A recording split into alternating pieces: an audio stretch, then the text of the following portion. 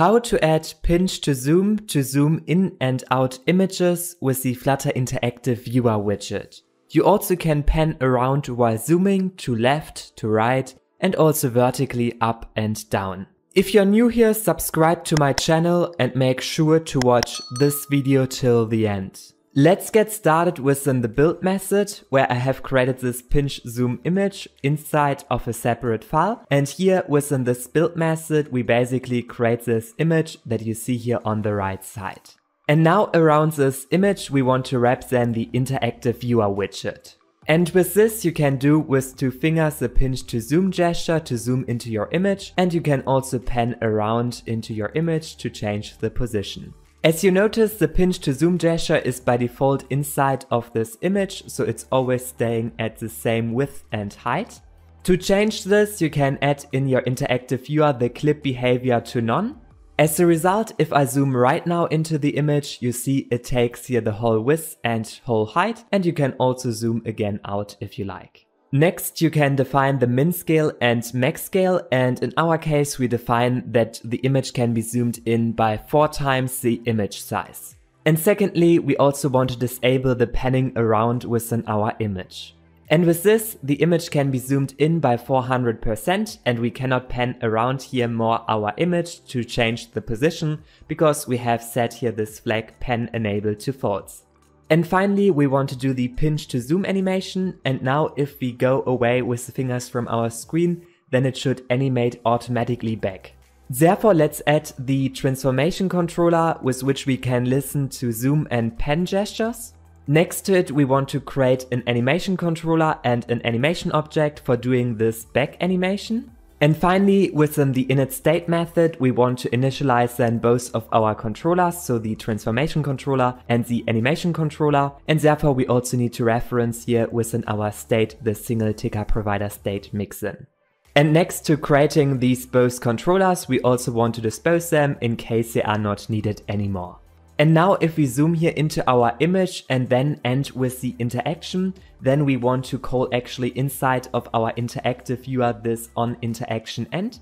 And when the user stops the interaction on the screen, then we want to call a method reset animation. And here inside we want to create then our animation object. And inside of it, we want to do our animation from our current zoom level that we have right now. And then we want to go back to the original state. To make this work, we also need to put then this animation value inside of our controller value of our interactive viewer. Therefore, you simply go here up to our init state method and here on our animation controller, we want to add a listener so that we always put the animation value inside of our controller, which is attached to the interactive viewer. And lastly, to make this work, you need to go back to your reset animation method. And here you need to call then on your animation controller the forward method to start your animation. Make sure to click here on hot restart and now if you do here this interaction and stop the interaction, then he will simply go back again and do this animation. And finally, we have a big problem with our pinch to zoom if we have here at the top an app bar or at the bottom a bottom navigation bar because our pinch to zoom is not going above the app bar and bottom navigation bar. To zoom our image above the app bar and bottom navigation bar, we want to put first of all our interactive viewer with this image inside of a separate build image method. And now as soon as we start with the zoom interaction, then we want to go inside of this on interaction start. And here we want to show then an overlay in case at least two fingers are tapping the screen. And this overlay that we want to create will be drawn above every other widget in Flutter, above the app bar, the bottom navigation bar, and so on. And to make this work, you also need to have your build context. And therefore it is important that you go to this image widget that you want to zoom and around it you need to wrap then a builder so that we get here the context that we now use inside of the show overlay method. Alright, and now we can create this show overlay method. And here we take then the overlay widget from the Flutter SDK to insert a widget on top of our whole app UI. Therefore, we define here an entry that we want to create within our state. So here we create then this overlay entry. And lastly, we want to initialize this overlay entry back in our show overlay method. So here inside, we want to create our overlay entry. And here within the builder method, you can create a widget that should be displayed on top of your whole app UI. So in this case, we take here the same image that we right now display in our UI.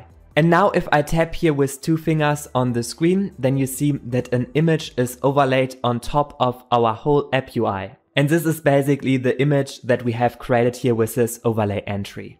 And now we want to position also this widget here correctly in our app UI.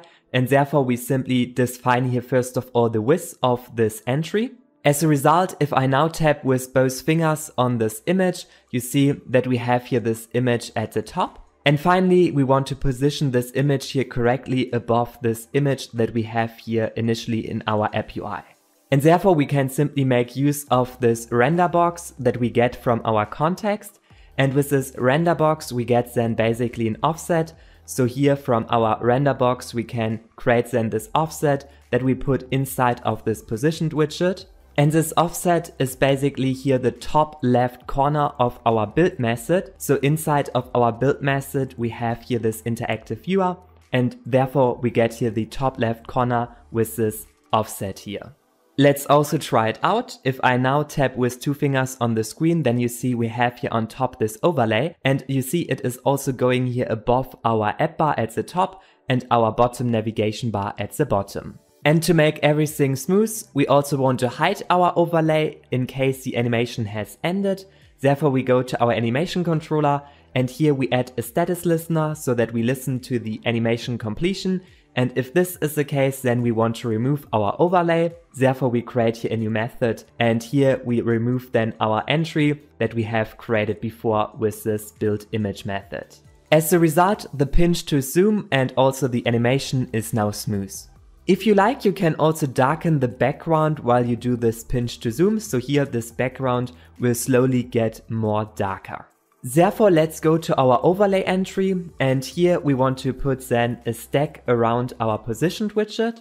And under our image, we want to place then here a black container that gets here the whole size available of the screen. So now if I do this gesture, you see that we have a black screen. However, what we want to have is an opacity for this black color instead.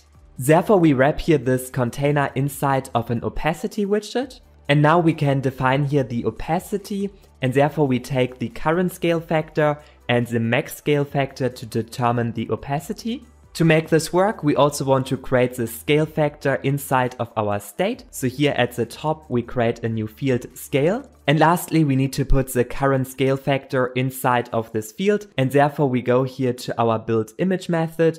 And here on this interaction, we can then add an on interaction update where we get over these details every time the current scale while we are zooming here into our image. Also, after every scale change, we need to update our entries UI and therefore you call here the mark needs to build method, which is basically the set state for our build entry.